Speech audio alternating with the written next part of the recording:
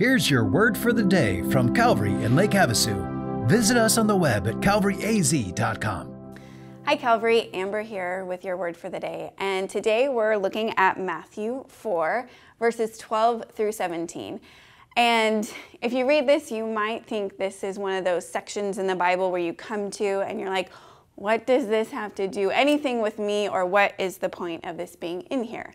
And so I'm going to give you some uh, reasons for why it's in here and how it can apply to us. Um, because no matter what you're reading in Scripture, whether you understand it or not, we need to remember that all Scripture is breathed out by God and profitable for us, for God to teach us, correct us, and train us. Um, so, all Scripture is beneficial for us, and so there is a point and purpose. So, we're going to look at that today. And it says, Now, when he, referring to Jesus, heard that John had been arrested, he withdrew into Galilee. And leaving Nazareth, he went and lived in Capernaum by the sea, in the territory of Zebulun and Naphtali, so that when, what was spoken by the prophet Isaiah might be fulfilled.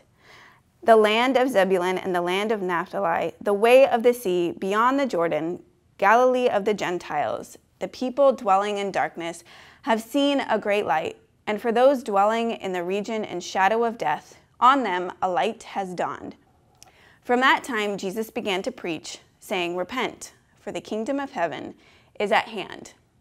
So, the first thing that we can see that is important in this passage is it gives specific details about Jesus' life.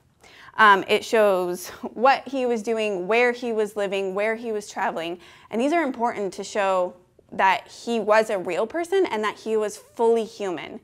Um, and this is important to know that Jesus was fully human and he was fully God. And so those details show his humanity.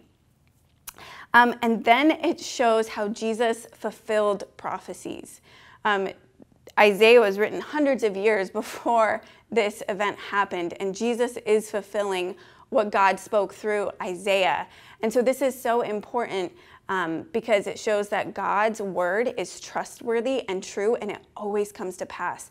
And so we can trust in what God says in the Bible. We can know that it is 100% true and it's trustworthy. And so we can trust God with every detail in our life, with what's going on, because we know He is secure and He is trustworthy and He is good, and what He says is going to come to pass. But it also shows Jesus fulfilled over 300 prophecies in the Old Testament. And so the importance of that is that the fact that the Bible is one continuous story and it all points to Jesus. From the beginning of creation until the book of Revelation, it is all pointing to Jesus. And so it's I want to encourage you guys to study the Bible as a whole because the more that you study it and the more that you understand it, you can read the Old Testament and be like, oh, it's referencing this in the New Testament um, and can make those connections. Or you can read the New Testament and be like, oh, this referring to this prophet in the Old Testament or this event that the people of Israel went through. And so you can see how the Bible is God's plan written through all history in this seamless um, book pointing all towards Jesus. And it's so beautiful to see that and to experience it and say, wow, like God had a purpose and a plan. And, and the good thing is, like, nothing has messed up God's plan. God's plan from before He created the world was that Jesus was going to come at this specific time in history be born of a virgin, lived a perfect sinless life, and die on the cross to take all of our punishment and shame and guilt and sin and give us forgiveness and freedom in Him.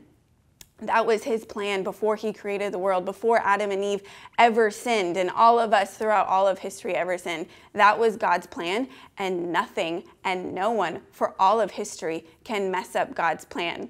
And so that is so freeing and encouraging, knowing like there is nothing I can do and there is nothing you can do that can mess up God's plan because God's plan is perfect and it his timing is perfect and good. And so we can trust in that. Um, if you want to know like what is this specific like prophecy referring to? Like, what's the point of this? Well, to understand a little bit of history, uh, the tribes of Zebulun and Naphtali had been dominated and conquered by the Assyrian nation um, way, way back in the Old Testament. Um, you can read about it in Second Kings. Um, but they had been dominated by Gentile nations for hundreds of years. And so they were desperately longing for God's deliverance. And they wanted it in the form of uh, military deliverance. But so Jesus is fulfilling this prophecy in that these people are experiencing God's light and his deliverance first through Jesus. And it's not just for them, it's also for us as well, because people that don't know Jesus are still dwelling in darkness and they need to come to know Jesus and have that life changing encounter with Jesus so they can step into the light and experience his peace and forgiveness and freedom and his hope um, and not have to live in darkness. And so, if you've never taken that step of experiencing a life changing relationship with Jesus, I would encourage you um, reach out to the church, or you can right now just pray and ask God uh, to forgive you of your sin and accept Him as your Lord and Savior um, to experience what it means to step into Jesus' light. Um, the last thing is Jesus says, repent for the kingdom of heaven is at hand.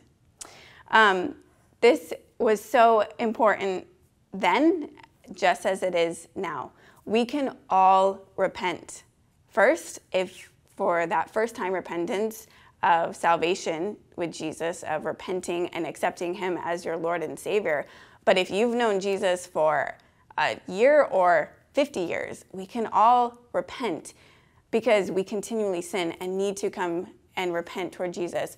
Repentance means turning away and and turning how you think, changing how you think.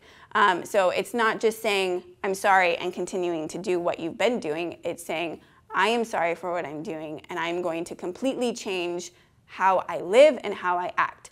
It's turning away from sinning and turning toward God.